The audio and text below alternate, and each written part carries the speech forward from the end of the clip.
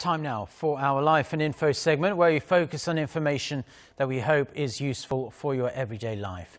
Gyeonggi-do province is home to the Hwaseong wetlands and uh, this was uh, formed off a lake and reclaimed land. Now thousands of birds from around the world descend on the area each and every year and the city of Hwaseong is aiming to get the wetlands internationally recognized by the year 20 21. Park Se-young has this report.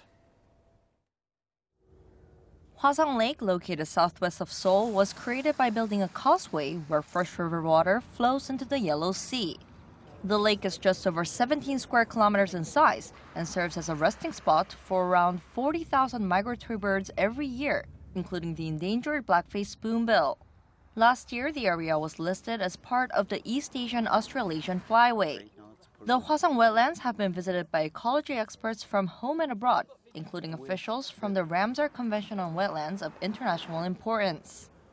And this means inter internationally important for water birds, but also locally and nationally important for fisher folks and for farmers. It's an incredibly important resource for Hwaseong City, but also for the nation as a whole. At an international symposium held earlier this month, the mayor of Hwaseong announced that the city is now aiming to get the site designated as a national wetland protection area in 2020 and added to the Ramsar list of wetlands of international importance by 2021.